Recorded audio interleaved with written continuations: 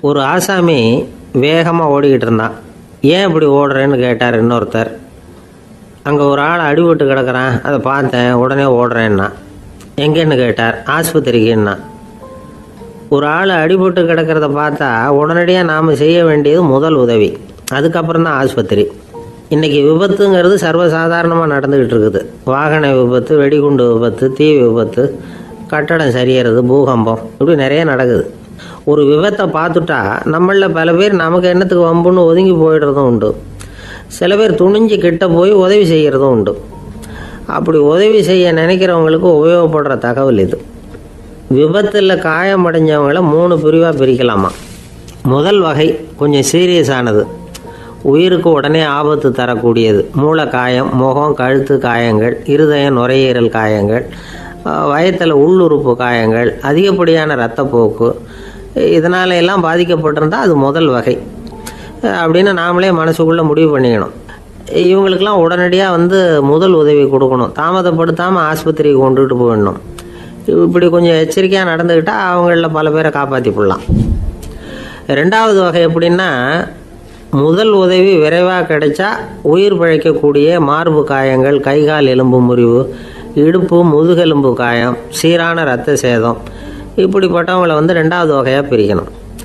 ஆபத்து இல்லாத சிராய்ப்புகள் சிறு காயங்கள் இரத்த உறைவுகள் இதனால் பாதிக்கப்படுறவங்க மூணாவது வகை.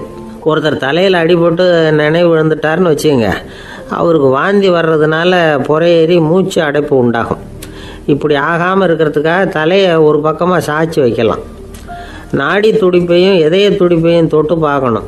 அது குறைஞ்சிருந்தாலும் சரி நின்று இருந்தாலும் சரி அவர் மார்பை வந்து நிமிஷத்துக்கு எண்பது தடவை உள்ளங்கையால் அழுத்தி இதய துடிப்பை வந்து மீட்கிறதுக்கு உதவி பண்ணணும். கழுத்தில் காயம்பட்டாலும் ஆபத்து அதிகம். கழுத்துக்கு அடியில் ஒரு துண்டை மடித்து வைக்கலாம். ரெண்டு பக்கமும் சின்ன தலையணை அல்லது துணி மடிப்புகளை வச்சு கழுத்தை அதிகமாக அசையாமல் பார்த்துக்கலாம். முதுகெலும்பு முறிஞ்சிருக்குமோ அப்படிங்கிற சந்தேகம் இருந்ததுன்னா அவரை அதிகமாக அசைய விடக்கூடாது. அதிகமாக அசைஞ்சால் தண்டு இடத்துல பாதிப்பு ஏற்பட்டு கை கால் விளங்காமல் போயிடும். அவரை ஒரு கனமான போர்வை இல்லைன்னா பாயில் படுக்க வச்சு நாலு பேர் மெதுவாக தூக்கி மருத்துவ உதவிக்கு அனுப்பி வைக்கலாம்.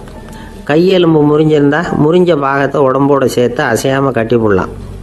கால் எலும்பு முறிஞ்சிருந்தால் மற்ற காலோட சேர்த்து கட்டி போடலாம். முறிஞ்ச பாகம் தொங்காமல் பார்த்துக்கணும். அப்போ தான் வீக்கம் உண்டாகாமல் இருக்கும். வெட்டு காயம் குண்டடிப்பட்ட காயம் இதில் எல்லாம் ரத்தப்போக்கு அதிகமாக இருக்கும்.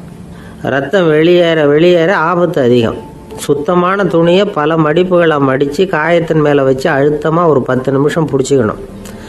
ரத்தம் நின்ன உடனே காயத்துக்கு கட்டு போடலாம். சில சமயம் காயம்பட்ட பாகத்தை உயரமாக தூக்கி பிடிச்சிக்கிட்டா தான் ரத்த கசிவு நிற்கும். இந்த விவரங்களை எல்லாம் கொஞ்சம் மனசில் வாங்கி வச்சுக்கிட்டோம்னா சமயத்தில் உதவும்.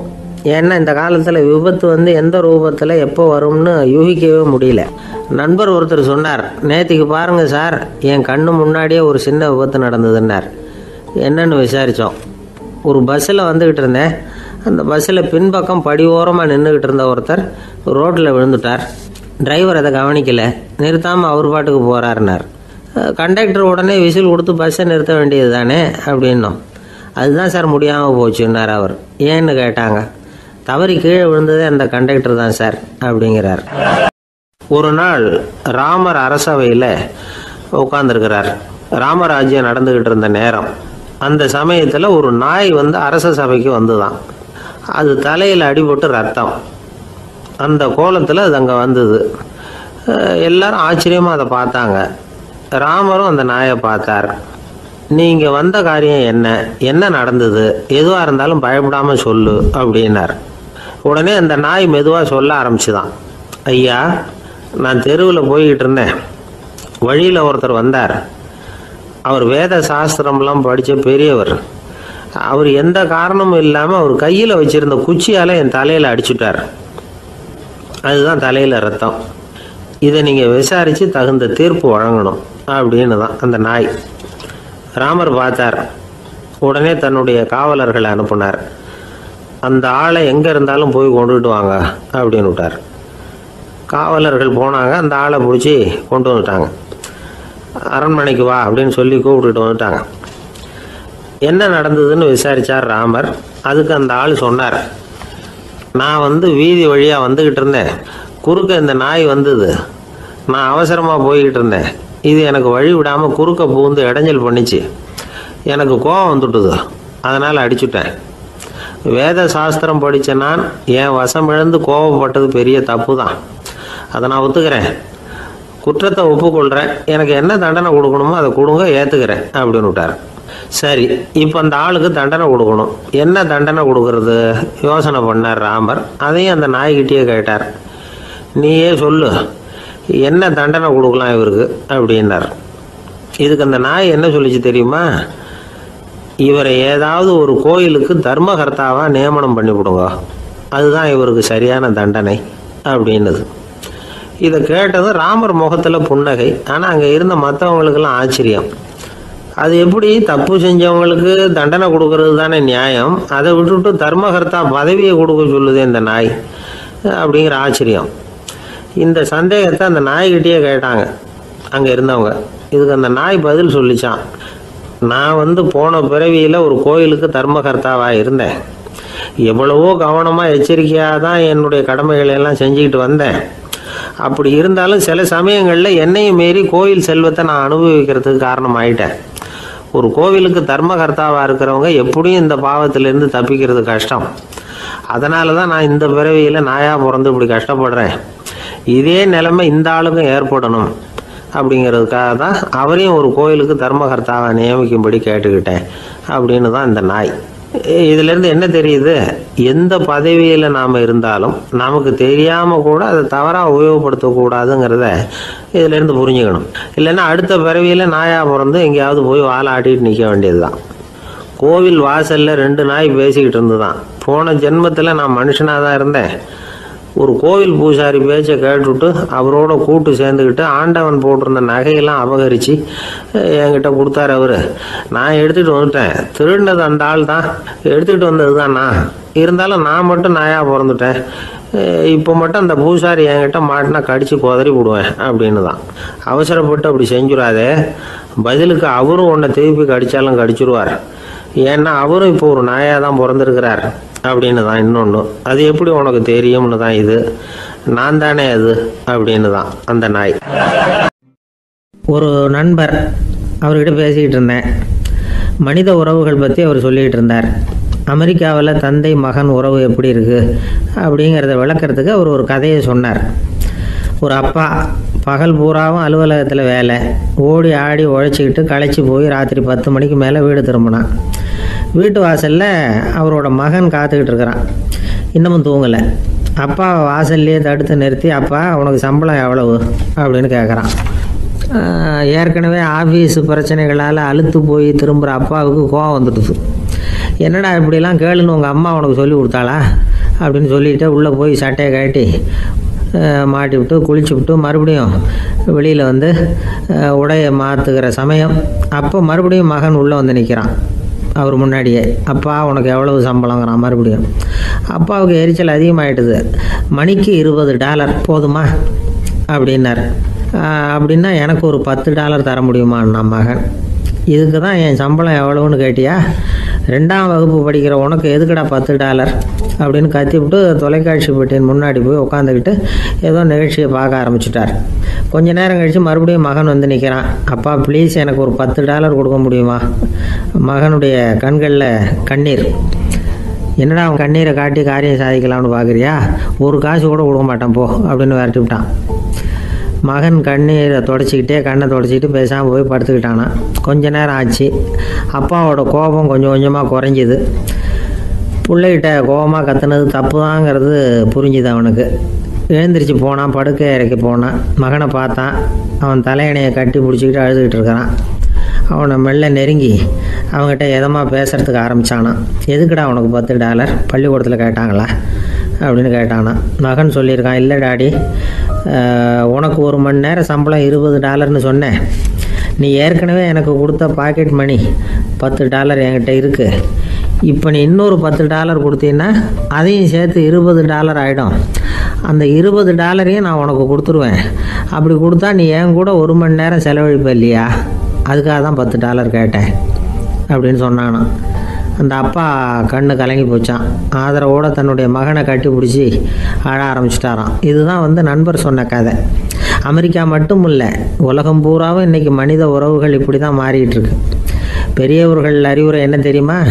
உங்கள் குழந்தைகளிடமிருந்து குழந்தை பருவத்தை பிரித்து விடாதீர்கள் அப்படிங்கிறது தான் அதாவது இன்றைய குழந்தைகள் தங்கள் பிருந்தாவனத்தை இழந்து விடுகிறார்கள் அப்படிங்கிறது அவங்களுடைய கருத்து. இந்த நிலைக்கு நாம் காரணமாக இருந்துடக்கூடாது குழந்தைகளோட விளையாடுவோம் குடும்பத்தோடு உறவாடுவோம் அப்படிங்கிறது தான் நம்முடைய நோக்கமாக இருக்கணும். இன்றைய உறவு முறைக்கு இன்னொரு உதாரணம் சொல்லுவாங்க. ஒருத்தர் வந்தாராம். அவர் பக்கத்தில் ஒரு சின்ன பையன். நாம் அவரை விசாரிக்கிறோம். யார் இந்த பையன்? அப்படின்னா அவர் சொல்கிறாரு இவன் எனக்கு தூரத்து உறவு அப்படின்னாராம். இந்த தூரத்து உறவுன்னா எப்படின்னு இருக்கான். இதுக்கு அவன் சொல்லியிருக்கிறான் இவன் எங்கள் அப்பாவுக்கு எட்டாவது புள்ள அப்படின்னானான் இந்த காலத்து புள்ள ஒருத்தன் தன்னோட அப்பாவை பார்த்து சொன்னான் அப்பா நான் உனக்கு உதவி செய்யலாம்னு நினைக்கிறேன். என்ன உதவி செய்யணும்னு சொல்லு அப்படின்னா நீ சும்மா இருந்தால் அதுவே எனக்கு செய்கிற பெரிய உதவிடா அப்படின்னார் அப்பா. சும்மா இருக்கிறதும் ஒரு உதவி தான் அது மாதிரி மௌனமும் ஒரு சமூக சேவை தான் அப்படிங்கிறார் காஞ்சி பெரியவர். நமக்கு வந்து ஐந்து புலன்கள் இருக்குது மெய் வாய் கண் மூக்கு செவி. இந்த அஞ்சுலேயும் அதிகப்படியான வேலை எதுக்குன்னு நினைக்கிறீங்க? வாய்க்கு தான். ஏன்னா அதுக்கு ரெண்டு வேலை. இப்போ கண்ணுக்கு பார்க்குறது மட்டும்தான் வேலை.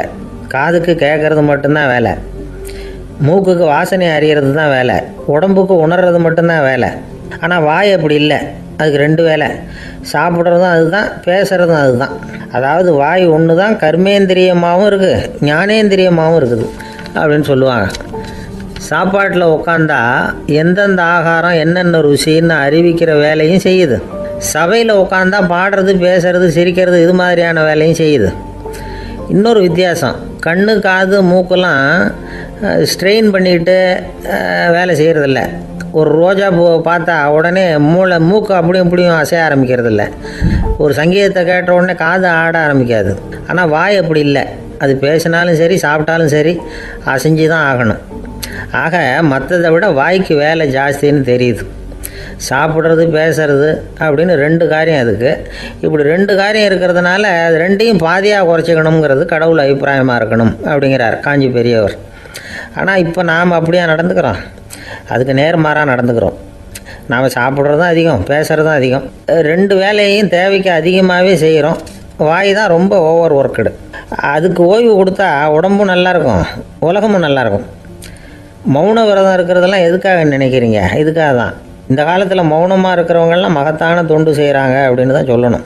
சத்தம் அதிகமாக போய் தான் சவுண்டு பொல்யூஷன் வருது. அது மட்டும் இல்லை மௌனமாக இருந்தால் சண்டை சச்சரவே வராது. மௌனம் கலக நாஸ்தி. ஆக இதுவும் ஒரு சமூக சேவை தான் நமக்கு தான் வாய் இருக்குதேங்கிறதுக்காக வசமாக சாப்பிட்றதும் தப்பு வளவளன்னு பேசுகிறதும் தப்பு. ஒரு கருத்தை சொல்கிறதுக்கு ஒரே ஒரு சொல்லு போதும் அப்படின்னு இருக்கும்பொழுது ரெண்டு சொற்களை செலவு பண்ணாதே.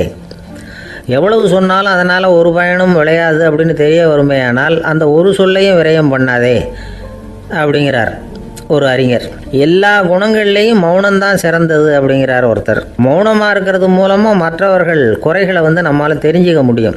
அதே சமயத்தில் நம்மக்கிட்ட இருக்கிற குறைகளை மற்றவங்களுக்கு தெரியாமல் மறைச்சிக்கவும் முடியுங்கிறார் அவர். உண்மைதானே? ஒரு பெரிய மேடை பேச்சாளர் பொது வாழ்க்கையில் இருபத்தஞ்சி வருஷ காலமாக ஈடுபட்டிருக்கிறவர். அவர் மனைவி ஒரு நாள் சொன்னாங்க எங்கள் வீட்டுக்காரர் இருபத்தஞ்சி வருஷ காலமாக பொது வாழ்வில் ஈடுபட்டிருந்தா கூட இந்த மாதம் பத்தாம் தேதியிலேருந்து தான் மக்களுக்கு சேவை செய்ய ஆரம்பிச்சிருக்கார் அப்படின்னு நாங்கள் ரொம்ப பெருமையாக பத்தாம் தேதிக்கு அப்படி என்ன விசேஷம்? அப்படின்னு கேட்டோம். அன்னையிலேருந்து தான் அவர் மேடையில் பேசுகிறத நிறுத்தினார் அப்படின்னாங்க அந்த அம்மா. கணவன் மனைவி அன்பாக இருக்கணும். ஒருத்தர் ஒருத்தர் நல்லா புரிஞ்சுக்கணும். விட்டு கொடுக்குற மனப்பான்மை வேணும். அதுதான் ஒரு நல்ல குடும்பம். இன்றைக்கி பல குடும்பங்களில் அர்த்தமில்லாத சண்டைகள் தான் அதிகம். கிராமப்புறங்களில் வேடிக்கையாக ஒரு கதை சொல்லுவாங்க. ஒரு ஊரில் ஒரு ஆள் இருந்தான். வேலை வெட்டி இல்லாமல் சும்மாவே இருந்தான். அவனுக்கு கல்யாணம் பண்ணி வச்சாங்களாம். மனைவி வந்து சேர்ந்தா. சும்மாவே உட்காந்துருக்கிறியே ஏதாவது சம்பாதிக்கிற வழியை பாரு அப்படின்ட்டுருக்கா அதுக்கு தான் யோசனை பண்ணிகிட்டு இருக்கிறேன். ஒரு அருமையான ஐடியா அப்படின்னு நானா என்ன அது சொல்லு அப்படின்ட்டுருக்கா ஒரு ஆட்டுக்குட்டி வாங்க போகிறேன்னு இருக்கான் அதை வாங்கி என்ன பண்ண போகிறேன்னா அந்த குட்டி வளரும் பெருசாகும் அதுக்கப்புறம் அது நிறைய குட்டி போடும் அப்படின்ட்டுருக்கான் சரி அப்புறம்? அப்புறம் என்ன அதையெல்லாம் சந்தையில் கொண்டுட்டு போய் விற்றுவிட்டு அந்த காசுக்கு ஒரு எருவு மாடு வாங்கலாம். சரி அது எதுக்கு? எருவு மாடு நிறைய பால் கொடுக்கும். அதை கொண்டுகிட்டு போய் பால் பண்ணையில் கொடுப்பேன். அல்லது நானே விற்றுருவேன் கை நிறைய காசு கிடைக்கும். அதுக்கப்புறம் ஒரு பசுமாடு வாங்குவேன். பாலையும் விற்கலாம். நாமளும் காய் போட்டு சாப்பிட்லாம். இப்படிலாம் சொல்லியிருக்கான். அப்போ அந்த பொண்ணு சொல்லிச்சான் அடுத்த தெருவில் இருக்கிற எங்கள் அம்மா வீட்டுக்கும் கொஞ்சம் பால் கொடுத்து அனுப்பலாம் அப்படின்ட்டுருக்கா அந்த பொண்ணு. இந்த இடத்துல கணவனுக்கு கோவம் வந்துட்டுது. அது எப்படி உங்கள் அம்மா வீட்டுக்கு எதுக்கு கொடுக்கணும்? அதெல்லாம் முடியாதுன்றிருக்கான் இந்த இடத்துல சண்டை ஆரம்பமாயிட்டுது. கொஞ்ச நேரத்தில் ரெண்டு பேரும் சத்தம் போட ஆரம்பிச்சிட்டாங்க. கடுமையான சண்டை நடக்கிறத பக்கத்து வீட்டுக்காரன் காதில் வாங்கினான் அவன் ஓடியாந்தான் அவனுக்கு தெரியும் வாங்காத மாட்டுக்காக இப்படி சண்டை போட்டுக்கிட்டு இருக்கிறாங்கங்கிறது அவனுக்கு புரியும். அவன் ஓடி வந்து சொன்னான் ஏன்டா உன்னோட பசுமாட்டை ஒழுங்காக கட்டி போடக்கூடாதான்ருக்கான் என்னடா சொல்கிறேன்னா இவன்? உன் மாடு என் தோட்டத்தில் வந்து மேய்ஞ்சுட்டுது. பயிரெலாம் நாசமாயிட்டுது. பத்தாயிரம் ரூபா அளவுக்கு சேதம். அதை வாங்கிட்டு போகிறதுக்கு தான் வந்தேன். குடுறா பத்தாயிரம் நானா இவன் அரண்டு போயிட்டான். அப்புறம் சொன்னாட்டே நான் இன்னும் மாடே வாங்கலையே. அதுக்குள்ளே அது வந்து எப்படிடா உன் தோட்டத்தில் மேயும்? என்னடா உளறேன்ருக்கான் நீ தாண்டா இப்போ உளறிக்கிட்டு இருக்க? மாடே வாங்கலை. அதுக்குள்ளே எப்படிடா வந்து உன்னுடைய மனைவி அவங்க அம்மா வீட்டுக்கு பால் கொடுத்து அனுப்ப முடியும்? அப்படின்னு அவன் கேட்டானா. நம்ம ஆளுக்கு இப்போ தான் புத்தி வந்துதான். அர்த்தமே இல்லாத சண்டை போட்டுக்கிட்டு இருக்கிறோம் அப்படிங்கிறத அவன் புரிஞ்சுக்கிட்டானான் இது நம்ம முன்னோர்கள் சொல்லியிருக்கிற ஒரு கதை. சண்டையில் தான் அர்த்தம் இல்லையே தவிர கதையில் அர்த்தம் உண்டு. அதாவது இல்லாத விஷயங்களுக்காக சண்டை போட்டுக்கிட்டு இல்லறத்தை வீணாக்கிக்கிட்டு இருக்கிற மனிதர்கள் இன்றைக்கு நிறைய பேர் இருக்கிறாங்க. ஒருத்தன் தன்னுடைய மனைவியை பற்றி மாமனார்கிட்ட புகார் சொன்னானா மாமா உங்கள் பொண்ணு அர்த்தமில்லாத சண்டை போடுறா. எதுக்கு எடுத்தாலும் எடுத்தெறிஞ்சு பேசுகிறா அப்படின்ட்டுருக்கான் நீ எப்படி மாப்பிள்ளை அதை சமாளிக்கிற? அப்படின்னு கேட்டிருக்காரு அவர். அவள் எடுத்தெறியறது என் மேலே படாமல் ஒதுங்கி நின்றுக்கிறேன் அப்படின்னு நானா இவன். நம்மக்கிட்ட ஒருத்தன் தப்பாக நடந்துக்கிட்டானா உடனே நாம் என்ன செய்வோம்? கையை ஓங்கிட்டு அவனை அடிக்க போவோம். நாம் அவன்கிட்ட அவனை விட ஒருபடி மேலாக தப்பாக நடந்துக்குவோம். ஆனால் பெரியவங்கள்லாம் அப்படி நடந்துக்கிறது இல்லை இன்னா செய்தாரை ஒருத்தல் அவர் நாண நன்னயம் செய்து விடல் அப்படின்னு வள்ளுவர் சொல்லியிருக்கார் இல்லையா? அதுக்கு தகுந்த மாதிரி நடந்துக்குவாங்க. பாயசித் விஸ்தாமிங்கிறவர் ஒரு பெரிய ஞானி. அவர் ஒரு நாள் ராத்திரி ரொம்ப நேரம் மசூதியில் இருந்துட்டு வீட்டுக்கு திரும்பி வந்துகிட்டு இருக்கிறார். வழியில் ஒரு குடிகாரன். அவன் கையில் ஒரு இசை கருவி அதை கண்ணா பின்னான்னு மீட்டிக்கிட்டு வாய்க்கு வந்தபடி என்னத்தையோ பாட்டுன்னு நினச்சிக்கிட்டு பாடிக்கிட்டு அவன் பாட்டுக்கு கிடக்கிறான் வழியில். அதோடு இருந்தாலும் பரவாயில்ல. அந்த பக்கமாக வழியில் போகிறவங்க வர்றவங்களையெல்லாம் பார்த்து கண்ணா பின்னான்னு திட்டிகிட்டு இருக்கிறான். ரொம்ப வளர்க்குறான் பாயசீத் பிஸ்தாமிங்கிற அந்த பெரியவர் அந்த வழியாக போகிறார் அவனை பார்க்குறார். அவனுடைய நிலைமையை பார்த்துட்டு பரிதாபப்படுறார். ஏன்பா இது மாதிரியெல்லாம் நடந்துக்கிற? இப்படி நடக்கலாமா? அப்படின்னு ஏதோ கொஞ்சம் புத்திமதி சொல்கிறதுக்கு ஆரம்பித்தார் அவனுக்கு கோபம் வந்துட்டுது. கையில் வச்சிருந்த வாத்திய கருவி அதால் ஓங்கி அந்த பெரியவர் தலையில் ஒரு அடி கொடுத்தான். ரத்த காயம் ஏற்பட்டு போச்சு. அவன் கையில் இருந்த இசைக்கருவியும் அடித்த வேகத்தில் ரெண்டாக உடஞ்சி போச்சு. அவ்வளோ வேகமாக அடிச்சிருக்கான். இவ்வளவு தூரத்துக்கு நடந்து போச்சுல்ல அந்த மாபெரும் ஞானி வாயை திறந்து ஒரு வார்த்தை கூட பேசலை. பேசாமல் தலையை பிடிச்சிக்கிட்டு அவர் பாட்டுக்கு போயிட்டார். மறுநாள் அந்த பெரியவர் என்ன பண்ணார் தெரியுமா? கொஞ்சம் இனிப்பு பண்டங்கள் கொஞ்சம் பணம் இது ரெண்டையும் ஒரு ஆள் மூலமாக அனுப்பி வச்சார் அந்த குடிகாரனுக்கு. அவனுக்கு ஒன்றும் புரியல. என்ன விவரம்னு விசாரித்தான் வந்த ஆள் ஒரு கடுதாசியை நீட்டினான் அதில் விவரம் இருந்தது. ஞானி எழுதியிருக்கிறார். இதை பார்ப்பா. உங்களுடைய இசைக்கருவி உடையறதுக்கு என்னுடைய தலை காரணமாக ஆயிட்டுது. அதுக்காக நான் ரொம்ப வருத்தப்படுறேன். அதுக்காக தான் பணம் அனுப்பி வச்சுருக்கேன். வேறு புதுசாக ஒரு இசைக்கருவி வாங்கிக்கோ. அப்புறம் இன்னொரு விஷயம். நேற்றுக்கு ராத்திரி என்கிட்ட ஏகப்பட்ட கசப்பான வார்த்தைகளை வந்து பேசினேன். இதோட அனுப்பியிருக்கிற இனிப்பு பண்டங்களை சாப்பிட்டு உன்னுடைய நாவில் உள்ள கசப்பை மாற்றிக்கும் அப்படின்னு அதில் எழுதப்பட்டிருந்தது இந்த சமயத்தில் அவன் வந்து குடி மயக்கத்தில் இல்லை தெளிஞ்சு போயிருந்த நேரம் இது அதனால் அதை படித்த உடனே அவனுக்கு ரொம்ப வெக்கமாக போச்சு. தலை குனிஞ்சான் யோசனை பண்ணான். கொஞ்ச நேரத்தில் தன்னுடைய நண்பர்கள் சில பேரையும் கூப்பிட்டுக்கிட்டு நேராக அந்த ஞானி இருக்கிற இடத்துக்கு ஓடினான் அவர் காலில் விழுந்தான் அவர்கிட்ட மன்னிப்பு கேட்டுக்கிட்டான். பெரியவங்களே தெரியாமல் வந்து நான் இந்த பாவ செயலை பண்ணிவிட்டேன். என்னை மன்னிச்சுங்க உங்களுடைய பொறுமையும் போதனையும் என்னுடைய கண்ணை திறந்துட்டுது இனிமேல் நானும் என்னுடைய நண்பர்களும் நல்ல வழியில் திருந்தி வாழ போகிறோம் அப்படின்னா. ஞானி செய்த நன்னயம் குடிகாரனை எப்படி திருத்தியிருக்கு பார்த்தீங்களா இந்த கதையை கேட்டுவிட்டு ஒருத்தர் சொன்னார் என் வாழ்க்கையில் கூட அப்படி ஒரு சம்பவம் நடந்தது சார். நானும் ஒரு நாள் ராத்திரி ஓவராக குடிச்சிட்டு ஒரு கிட்டாரை வாசிச்சுக்கிட்டு கண்ணாபின்னான்னு உளறிக்கிட்டு திட்டிக்கிட்டு இருந்தேன்.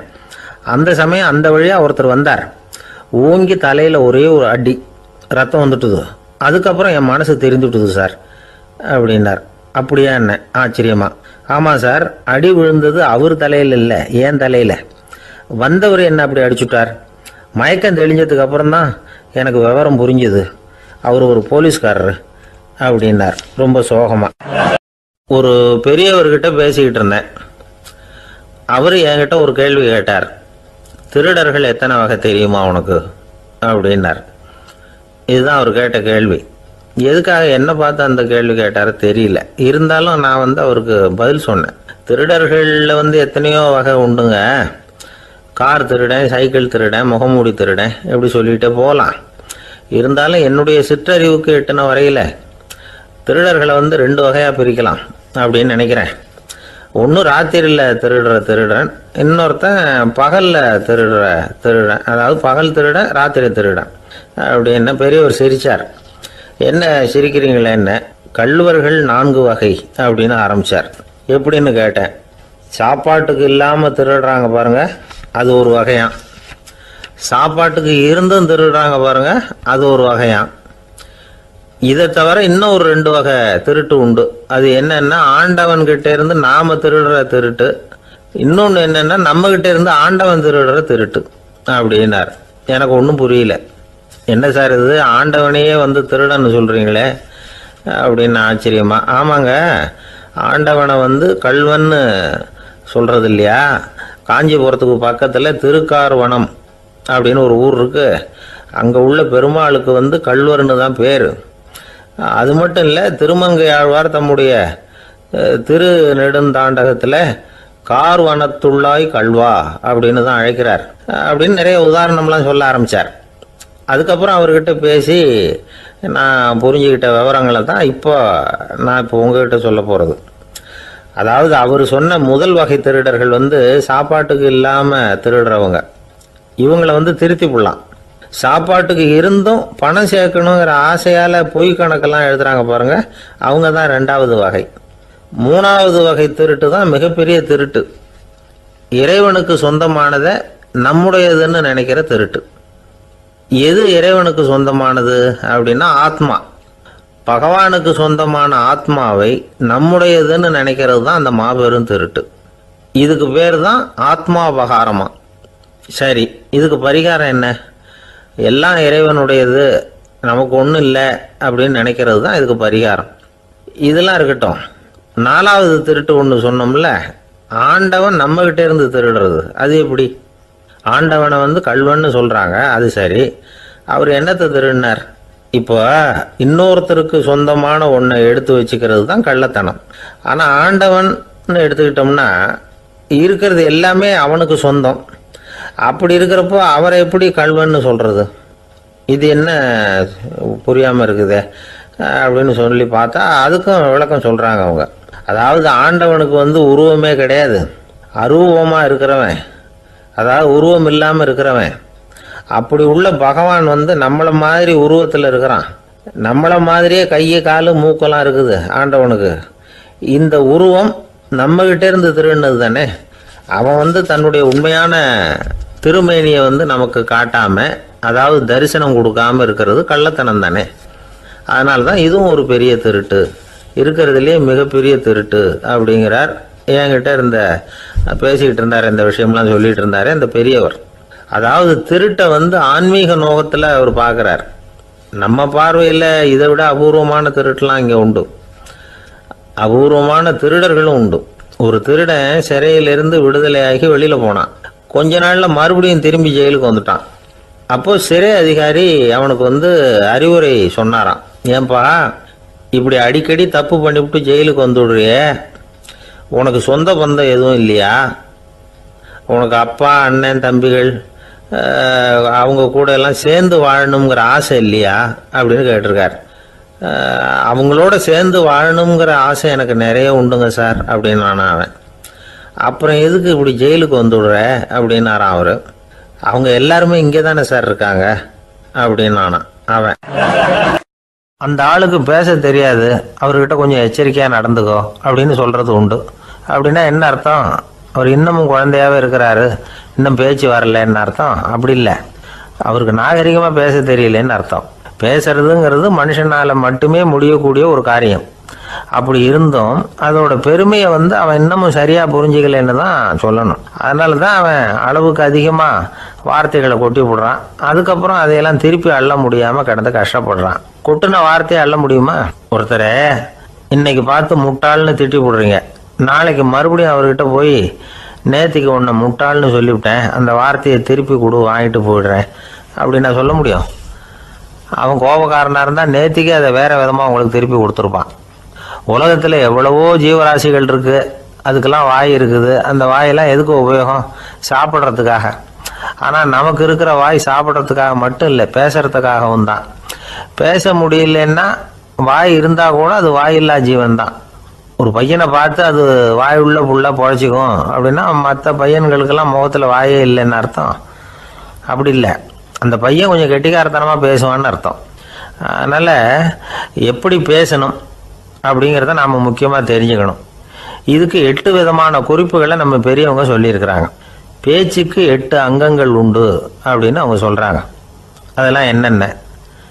அப்படின்னா உண்மை நன்மை அன்பு நிதானம் இனிமை ஆழம் சமயமறிதல் சபையறிதல். இந்த எட்டு தன்மையும் பேச்சில் இருக்கணுமா?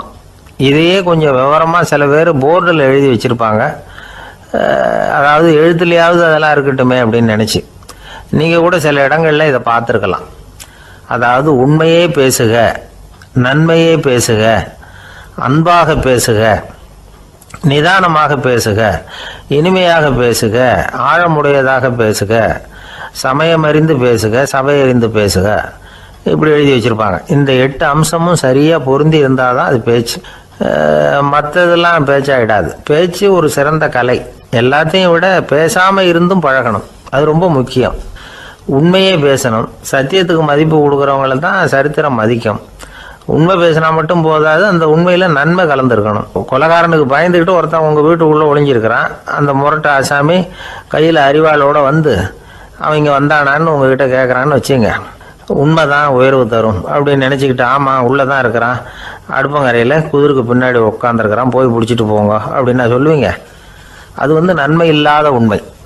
அதனால் பிரயோஜனம் கிடையாது. அதே மாதிரி உங்கள் பேச்சில் அன்பு இருக்கணும் நிதானம் இருக்கணும் இனிமை இருக்கணும் சிந்தித்து பேசணும். சமயம் அறிந்து பேசுகிறதும் முக்கியம். அதை பற்றி நமக்கு வேறு யாரும் சொல்லிக் கொடுக்க வேண்டியதில்லை.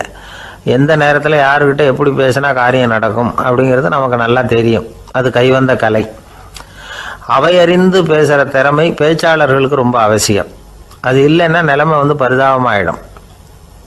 ஒரு பேச்சாளர் ரொம்ப மும்முரமாக பேசிக்கிட்டே இருந்தாராம். ரொம்ப நேரம் நிறுத்தவே இல்லை. பேசிக்கிட்டே இருக்கிறார். சபையில் இருந்தவங்கலாம் ஒவ்வொருத்தரும் எழுந்திரிச்சு போய்கிட்டே இருக்கிறாங்க. கடைசியில் ரெண்டு பேர் தான் அக்கறையாக பேசுகிறவரை கவனிச்சிட்டு உட்காந்துருந்தாங்களாம் மேடையில் பேசிக்கிட்டு இருந்தவர் அவங்கள பார்த்து சொன்னாராம். எனக்கு கூட்டம் முக்கியம் இல்லை. எவ்வளவு பேர் என் பேச்சை கேட்குறாங்க அப்படிங்கிறது முக்கியம் இல்லை. நீங்கள் ரெண்டு பேராவது ஊக்கமாக என்னை கவனிச்சிக்கிட்டு உட்காந்துருக்குறீங்க அது போதும். உங்களுக்காகவே நான் பேசிக்கிட்டு இருக்கிறேன் அப்படின்னார். இதை கேட்டதும் உட்காந்துருந்த ரெண்டு பேரில் ஒருத்தர் எழுந்திருச்சு அப்படி இல்லைங்க. நாங்கள் ரெண்டு பேரும் நீங்கள் பேசி முடித்த உடனே தொடர்ந்து பேச வேண்டிய ஆளுங்க. அதுக்காக தான் காத்துக்கிட்டு இருக்கிறோம். சீக்கிரம் முடிங்க. அப்படின்னாங்களாம். ஒரு ஊரில் ஒரு துறவி இருந்தார். புத்த சமய துறவி.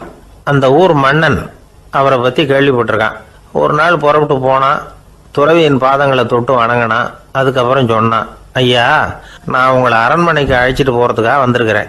இனிமே நீங்கள் இங்கே எதுக்கு இருக்கணும்? அப்படின்னானா அவன் மனசுக்குள்ளே என்ன நினப்புன்னா இவர் எங்கே வர போகிறாரு நான் ரொம்ப எளிமையானவன் எனக்கு எதுக்கு அரண்மனை வாசம்னு சொல்லி விடுவார் அப்படின்னு நினச்சிருக்கான். ஆனால் அந்த துறவி என்ன பண்ணார் தெரியுமா? அப்படியா சரி போகலாம் வா. போய் உன் ரகத்தை கொண்டுட்டு வா. அரண்மனைக்கு போகும்பொழுது அதுக்கு தகுந்த மாதிரி ஆடம்பரமாக போகணும் அப்படின்னு விட்டாரான் துறவி இப்படி சொன்னதும் அந்த மன்னனுக்கு மனசுக்குள்ள சந்தேகம் வந்துட்டுது. இவர் உண்மையிலேயே துறவி தானா ஏமாத்து பேர் வழி மாதிரி தெரியுதே அப்படின்னு நினச்சிருக்கான். இருந்தாலும் இனிமேல் என்ன பண்ணுறது சொல்லியாச்சு. ராஜத்தை ரதத்தை வந்தான். துறவி ஏறி உட்காந்தார் பக்கத்தில் ராஜா. அவர் ரொம்ப உற்சாகமாக வரார். இவன் ரொம்ப சோர்ந்து போய் வரான். துறவி மரத்தடியிலேயே வாழ்ந்து பழக்கப்பட்டவர். அரண்மனையில் எளிமையாக ஒரு இடத்துல உட்காந்துக்குவார் அப்படின்னு நினச்சான். ஆனால் அப்படி இல்லை. அரண்மனைக்கு வந்த உடனே அந்த துறவி அதை கொண்டுட்டு வா இதை கொண்டுட்டு வான்னு சொல்லி உத்தரவு போட ஆரம்பிச்சிட்டார். அரண்மனையில் இருந்தால் அரசனை மாதிரி இருக்கணும் அப்படிங்கிறார். ராத்திரி பூரா சௌகரியமாக தூங்கினார். பகலில் அரண்மனை தோட்டத்தில் உலாவ வேண்டியது நீச்சல் குளத்தில் குளிக்க வேண்டியது இப்படியே பொழுது போக்கிட்டு இருக்கிறார். அந்த அரண்மனையில் துறவி வந்து மகிழ்ச்சியாக இருக்கிறார். மன்னனால் அப்படி இருக்க முடியல. அவருக்கு எந்த கவலையும் இல்லை. இவனுக்கு அரசாங்க கவலைகள். துறவி அப்படி இருக்கிறத இவனால் தாங்கிக்க முடியல. ஒரு நாள் அவர்கிட்டயே போய் நான் உங்ககிட்ட கொஞ்சம் பேசணும் நானா. துறவி பார்த்தார் நான் இந்த அரண்மனைக்கு வரும்பொழுதே நீ என்னமோ என்கிட்ட கேட்கணும்னு நினைச்ச. ஏன் காலதாமதம்? நீ அனாவசியமாக உன்னையே தொந்தரவு பண்ணிகிட்ருக்கிற இருக்கிற நீ கவலையாக இருக்கேங்கிறது எனக்கு புரியுது. நான் மரத்தடியில் இருந்தப்போ கூட என்னை அடிக்கடி வந்து சந்திச்சுக்கிட்டு இருப்பேன் ஏதாவது விளக்கம் கேட்கறது உண்டு. இங்கே வந்த பிறகு என்னை சந்திக்கிறது கூட அபூர்வமாக போயிட்டுது. நீ இப்போ என்ன கேட்க போறேங்கிறது எனக்கு தெரியும். இருந்தாலும் கேளு அப்படின்னாராம். வேற ஒன்றும் இல்லைங்க. இப்போ உங்களுக்கும் எனக்கு என்ன வித்தியாசம்? ரெண்டு பேரும் அரண்மனையில் தான் இருக்கிறோம். நீங்கள் மகிழ்ச்சியாக இருக்கிறீங்க. நான் அப்படி இருக்க முடியல. இவ்வளவுக்கும் நீங்கள் முன்னாடி இருந்தது மாதிரி இல்லை. தினமும் தங்க தேர் கேட்குறீங்க. உயர்தரமான ஆடைகள் அணியிறீங்க. சுவையான சாப்பாடு. இப்படி இருக்கிறப்போ உங்களுக்கும் எனக்கு என்ன வித்தியாசம்? இதுதான் மன்னனுடைய கேள்வி. இதுக்கு பதில் சொல்கிறேன் என் கூட புறப்பட்டு வா. இந்த நகரத்துக்கு வெளியில போவோம் அப்படின்னு சொல்லி அரசனை கூப்பிட்டுக்கிட்டு ஊர் எல்லைக்கு வந்து சேர்ந்தார் துறவி. அங்க போய் சொன்னார் இதை பாருப்பா இந்த இடத்த தான் தேடிட்டு இருந்தேன். இனிமே நான் வந்து திரும்பி வர போறதில்ல நீ என்னோட வர்றியா? திரும்பி போறியா? அப்படின்னார். நான் எப்படிங்க உங்க கூட வர முடியும்? என்னுடைய நாடு என்னுடைய சொத்துக்கள் மனைவி மக்கள் எல்லாத்தையும் விட்டுட்டு எப்படிங்க வர்றதுன்னா இப்போ அந்த துறவி சொன்னார் இப்போ வித்தியாசத்தை தெரிஞ்சுக்கிட்டியா? நான் அரண்மனையில் இருந்தேன். எல்லா வித பொருள்களும் உடையவனாக இருந்தேன். ஆனால் எதையும் சொந்தம் கொண்டாடுறவனா இருக்கல. ஆனால் நீ அப்படி இல்லை. எல்லாத்தையும் சொந்தம் கொண்டாடிக்கிட்டு இருக்கிற. இதுதான் நமக்குள்ள வித்தியாசம் அப்படின்னு சொன்னார். அரண்மனை ஆடைகளை அப்படியே கலைஞ்சார் அரசங்கிட்ட கொடுத்தார். உன்னுடைய ஆடைகளை நீயே வச்சுக்கோன்னார். அவர் பாட்டுக்கு நடந்து போனார் திரும்பியே பார்க்கல. அரசனுக்கு அப்பதான் தன்னுடைய அறியாமை விளங்குச்சான். இதுல இருந்து நாம புரிஞ்சுக்க வேண்டியது என்னன்னா இந்த உலகத்துல எத்தனையோ பொருள்கள் அதையெல்லாம் முறையா பயன்படுத்தினா மகிழ்ச்சி. அதை விட்டுட்டு அதுக்கெல்லாம் சொந்தம் கொண்டாட ஆரம்பிச்சா கவலை. நம்ம ஆட்கள் வந்து சொந்தம் கொண்டாடுற விதமே தனி. ஒரு ஆள் இன்னொருத்தங்கிட்ட ஒரு கொடை கடன் வாங்கியிருந்தான் திருப்பி கொடுக்கல. கொடையை கொடுத்தவன் கேட்டான் என்கிட்ட கடன் வாங்கினிய கொடை அதை கொஞ்சம் திருப்பி தர்றியான்னா அது உனக்கு இப்போ அவசரமா தேவைப்படுதா? அப்படின்னு கேட்டான் இவன். எனக்கு தேவைப்படல. அந்த கொடையை நான் யாருக்கிட்ட வாங்கியிருந்தேனோ அவனுக்கு இப்போ அது அவசரமா தேவைப்படுது அப்படின்னு அந்த ஆள்.